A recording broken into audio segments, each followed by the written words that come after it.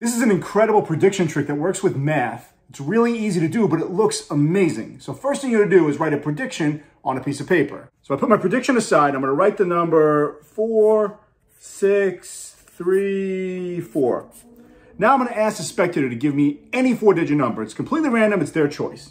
So let's say they said three, two, five, seven, and it really is their choice.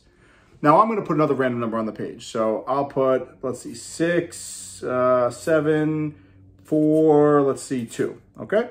And then I'm gonna ask them to give me one more random number. So let's say they said one, five, eight, nine, let's say, right? Now I'm gonna put one more random number on the page. So I'll say eight, four, one, zero, right? Now I'm gonna ask them to take out their calculator and add up the numbers on this page. And when they do that math, it's gonna come out to 24,632. Now you could pause it here and check my math, but that's what it's going to come to. And I knew that because that's the exact prediction that I had on this piece of paper. So like I said, this is super simple and here's how it works. First, you're going to write a random five digit number as your prediction. Now, the only thing that it has to have is a two to start the number. It's got to start with two. The rest of the numbers, completely up to you. But you have to memorize what those last four numbers are because that's going to give you your first number, which is not really random, but you're going to try to make it look random. So in this case, it's 4632. So we're just going to add 2. Whatever those four digits are, you add 2. So 4632 becomes 4634. I just added 2. So that was my first number, 4634. So now I'm going to put this aside. Now I'm going to ask them for a random number. And this really is random. They can put any number they want. So they said 3257.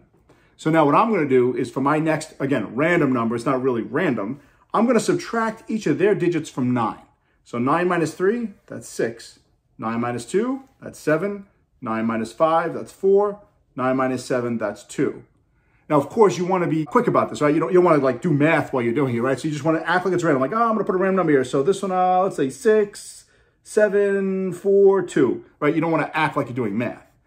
Now you're going to ask them for a random number again. And there it is. Let's say whatever the number they picked. And once again, you're going to do the same thing. You're going to subtract from 9 to get these four digits and now when you add these numbers up, if you follow that pattern, it will always add up to whatever is on your prediction. So a couple things to keep in mind while you're doing this trick. First, you want to be quick with the math, right? You can't look like you're thinking about doing math or else it's going to be pretty obvious. You want to make it feel like it's completely random. Secondly, sometimes people, if you ask somebody from a four-digit number, they're going to try to trick you up and they're going to say like, uh, oh, 4444, which is fine, except then your next number is going to have to be 5555, and that's going to look a little weird.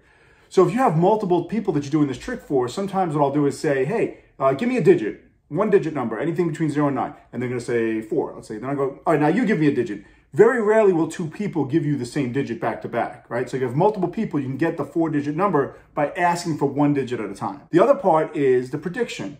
So I just wrote it on a piece of paper, right? That was that was an easy way to do it, but that's not super exciting. There's so many ways you can reveal the number at the end. You could have that piece of paper in your pocket or have it somewhere else or or have something written on a wall somewhere or uh, a deck of cards. So in this case, I have the card set up so it says 24,632, just like the answer to my prediction was, right? So if I had that, I could do some kind of false cuts and maybe a couple of you know fake shuffles with these cards, then put them aside, do the entire trick, and then say, all right, this is the number you came up with. Let's see what number I have. And then you show 24,632. Still looks pretty amazing. So there's so many different ways you can reveal the end. Be creative with it and have fun.